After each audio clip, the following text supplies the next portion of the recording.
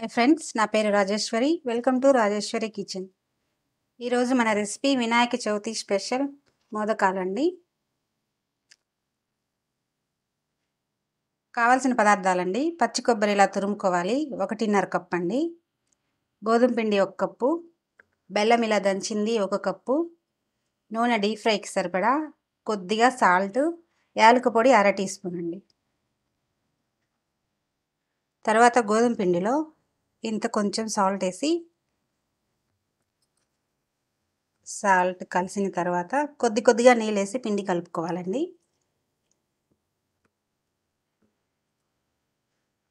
ఇలా పూరి పిండిలా కలిపిన తర్వాత కొద్దిగా ఆయిల్ వేసి ఆయిల్ పట్టించి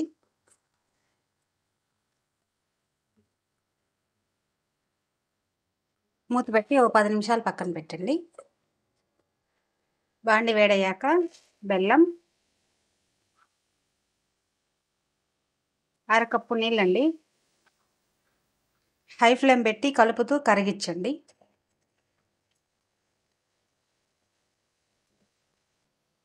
బెల్లం ఇలా కరిగితే చాలండి.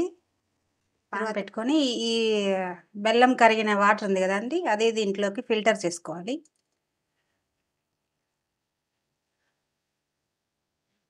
మీడియం ఫ్లేమ్ పెట్టుకొని ఈ కొబ్బరి ఇందులో వేసుకోవాలండి. తురుం పెట్టుకున్న పచ్చి కొబ్బరి.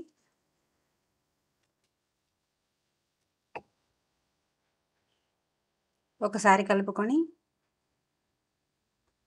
ఇలా కలిసిన తర్వాత మీడియం ఫ్లేమ్ పెట్టుకొని ఈ పాకం ఉంది కదండి ఇదంతా కొబ్బరి పీల్చుకునే వరకు ఫ్రై చేసుకోవాలండి.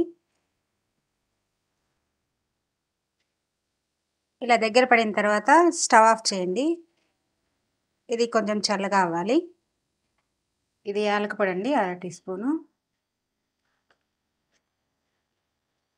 వేసి ఒకసారి కలిపేసుకోవాలి.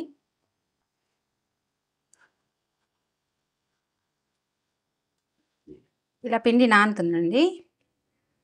దీన్ని రెండు బాల్స్గా చేసుకోండి.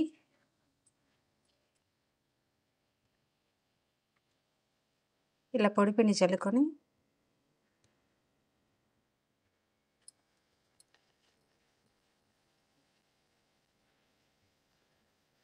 అంత పతలా కాదు అంత మన్ అంత మందంగా కాదండి.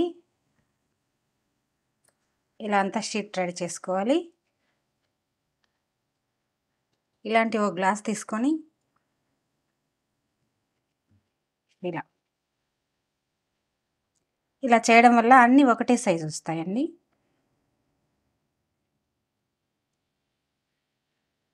పూరిని ఇలా చేతిలోకి తీసుకొని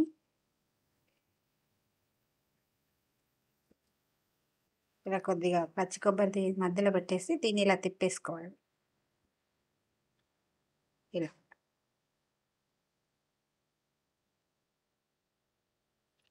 ఆయిల్ వేడయ్యాక స్టవ్ స్టిమ్ చేసుకొని ఈ మోదకాలన్నీ ఇందులో వేసేయాలి.